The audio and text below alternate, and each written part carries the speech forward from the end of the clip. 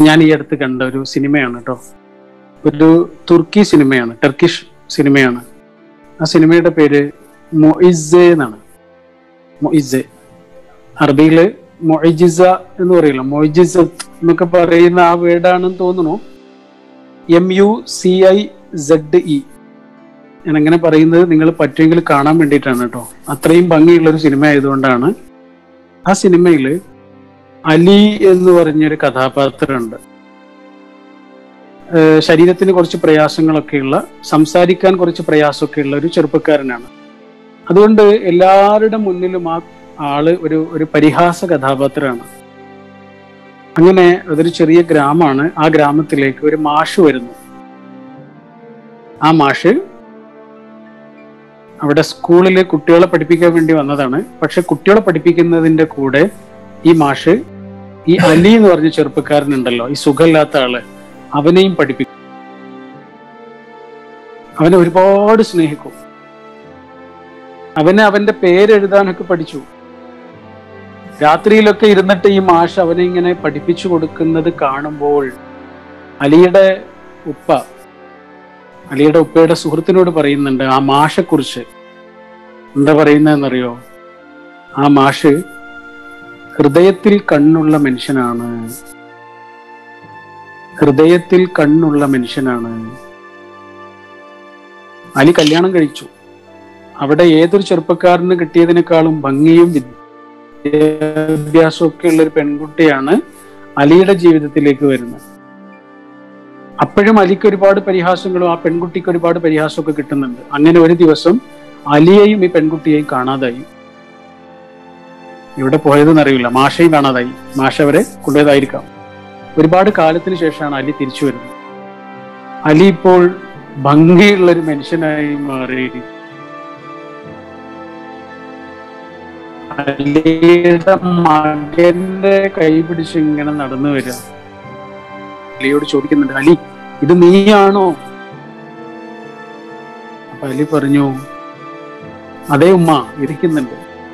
അപ്പൊ ഉമ്മ ഇങ്ങനെ കരഞ്ഞുകൊണ്ട് ചോദിക്കുന്നുണ്ട് മോനെ നീ സംസാരിക്കാൻ പഠിച്ചോ? സംസാരിക്കാനൊക്കെ നിനക്ക് കഴിയോ?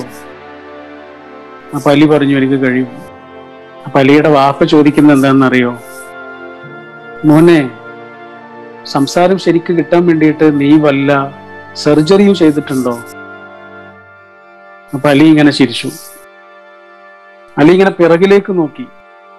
അലിയുടെ പ്രിയപ്പെട്ട ആ പെണ്ണ് ഇങ്ങനെ നടന്നു വരുന്നുണ്ട്. അലി അവളിങ്ങനെ നോക്കിയിട്ട് പറഞ്ഞു വാപ്പാ സർജറി ഒന്നല്ല ചെയ്തത്. സർജറി കൊണ്ടൊന്നല്ല ഞാൻ ഇങ്ങനൊക്കെ ആയത്. ആ നടന്നു വരുന്ന പെണ്ണിന്റെ കാരണം കൊണ്ടാണ്. അലി അങ്ങനെ പറഞ്ഞ് കണ്ണു നിറഞ്ഞു നിൽക്കുമ്പോഴാണ് ആ സിനിമ അവസാനിക്കുന്നത്. തുർക്കിയിൽ നടന്നൊരു യഥാർത്ഥ സംഭവമാണ് കേട്ടോ. അത് സിനിമ ആയതാണ്. എന്താണ് ലവ് ഫുൾനെസ് എന്ന് പറഞ്ഞാൽ ഇത്രയേ ഉള്ളൂ ഒരു മനുഷ്യനെയെങ്കിലും ജീവിക്കാൻ പ്രേരിപ്പിക്കുന്ന ഒരു സാന്നിധ്യമായി നമ്മൾ മാറുക എന്നത് മാത്രമാണത്. ഒരു മനുഷ്യനെയെങ്കിലും ജീവിക്കാൻ പ്രേരിപ്പിക്കുന്ന ഒരു സാന്നിധ്യം. ഉറുമ്പിന് ചിറക് വന്ന് അതൊരു തുമ്പിയാകുന്ന ലോകമാണിത്. പുഴു ഒരു പ്യൂപ്പയുടെ അകത്തേക്ക് കയറിയിട്ട് തിരിച്ചു വരുമ്പോൾ പൂമ്പാറ്റയാകുന്ന ലോകമാണിത് ഈ ലോകത്ത് ഓരോ മനുഷ്യന്റെ ഉള്ളിലും അങ്ങനെ ഒരു ചിറകിന്റെ സാന്നിധ്യമുണ്ട്. ഓരോ മനുഷ്യന്റെ ഉള്ളിലും അങ്ങനെ ഒരു പൂമ്പാറ്റയാകാനുള്ള സാന്നിധ്യമുണ്ട്. എന്തോ ചില വിത്തുകളൊക്കെ ഉള്ളിൽ മറിഞ്ഞു കിടക്കുന്നുണ്ട്. അങ്ങനെ മറിഞ്ഞു കിടക്കുന്ന ഏതെങ്കിലും ഒരു വിത്തിനെ ഒരു മനുഷ്യന്റെയെങ്കിലും ജീവിതത്തിലേക്ക് നമുക്ക് പുറത്തെടുക്കാൻ കഴിയണം. ആ മനുഷ്യൻ നമ്മളെക്കുറിച്ച് മനസ്സിലോർക്കും. എന്റെ ചിറകിനാകാശവും നീ തന്നു. ആത്മശിഖരത്തിൽ ഒരു കൂട് തന്നു എന്ന്.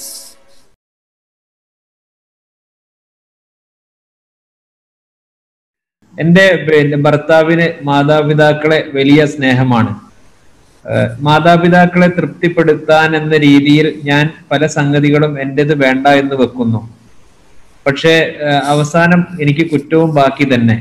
എന്താണ് ഇതിനൊരു പരിഹാരം? മാതാപിതാക്കൾക്ക് കൂടുതൽ സ്ഥാനം കൊടുക്കുന്നു എന്നുള്ളൊരു പ്രശ്നമാണോ? അതായത് അദ്ദേഹത്തിന്റെ മാതാപിതാക്കളെ സാറ്റിസ്ഫൈ ചെയ്യാൻ വേണ്ടിയിട്ട് ഇവർ കുറെ സാക്രിഫൈസ് ചെയ്യേണ്ടി വരുന്നു. ആ ഓക്കെ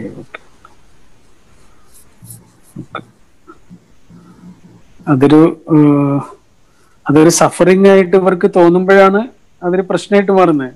സാക്രിഫൈസ് ആകുമ്പോൾ വലിയ പ്രശ്നം തോന്നൂല സഫറിങ്ങിനെ എത്ര കണ്ട് സാക്രിഫൈസ് ആക്കാൻ പറ്റുന്നുണ്ടോ? അത്രയും ആ ബന്ധങ്ങളൊക്കെ മനോഹരമാവും അത് ആ ആളും ഭർത്താവും കൂടി മനസ്സിലാക്കേണ്ട ഒരു കാര്യമാണ്. പലപ്പോഴും ഇപ്പോ ഭർത്താ നമ്മുടെ നമ്മുടെ ഉമ്മ അല്ലെങ്കിൽ നമ്മുടെ ഉപ്പ അവരുടെ സുഖം ക്ഷേമം ആരോഗ്യം ഇതൊക്കെ ഏറ്റവും പ്രധാനമായി കാണേണ്ടത് നമ്മുടെ ജീവിതത്തിലേക്ക് വന്ന പെൺകുട്ടിയേക്കാൾ അതിന്റെ ഉത്തരവാദിത്വം നമുക്കാണ്.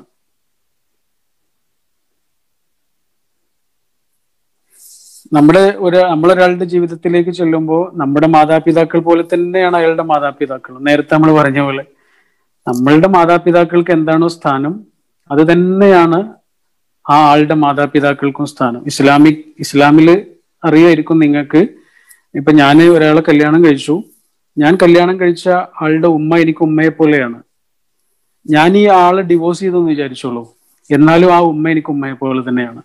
ആ സ്ഥാനത്തിൽ നിന്ന് മാറ്റം ഉണ്ടാവില്ല. അത്രയും പ്രാധാന്യം എല്ലാ മതങ്ങളും അങ്ങനെ തന്നെ ആയിരിക്കുമല്ലോ. അത്രയും പ്രാധാന്യം ആ ആൾക്ക് ആ ഉമ്മക്ക് ഉപ്പക്ക് കൊടുക്കുന്നുണ്ട്. അങ്ങോട്ടും ഇങ്ങോട്ടും. അതുകൊണ്ട് നമ്മൾ ചെയ്യുന്ന കാര്യം ആത്മാർത്ഥമായിട്ട് തന്നെ ചെയ്യുക. നമ്മളൊന്നും പ്രതീക്ഷിക്കൊന്നും വേണ്ട. നമ്മുടെ സ്നേഹം അംഗീകരിക്കപ്പെടും. അത് സത്യസന്ധമാണോ? അത് അംഗീകരിക്കപ്പെടും. കുറെ കാലം കഴിയുമ്പോൾ അത് പറയും മനസ്സിലാക്കും.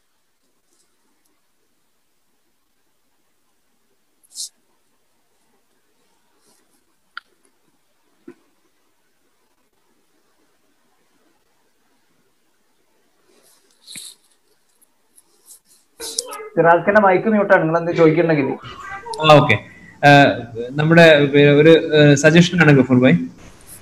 പാരൻസും ചിൽഡ്രൻസും ചിൽഡ്രനും തമ്മിലുള്ള റിലേഷൻഷിപ്പിനെ കുറിച്ചിട്ട് പിന്നെ ടീനേജ് കുട്ടികൾക്ക് താങ്കൾക്ക് ഒരു സെഷൻ ചെയ്ത് തരാമോ എന്ന് ചോദിക്കുന്നുണ്ട്. അത് വലിയ ഉപകാരപ്പെടും. കാരണം കുട്ടികളെ നമ്മൾ പല രീതിയിലും പറഞ്ഞ് മനസ്സിലാക്കാൻ പെടാപ്പാട് പെടുകയാണ് എന്നാണ് അവർ പറഞ്ഞതിന്റെ ചുരുക്കം.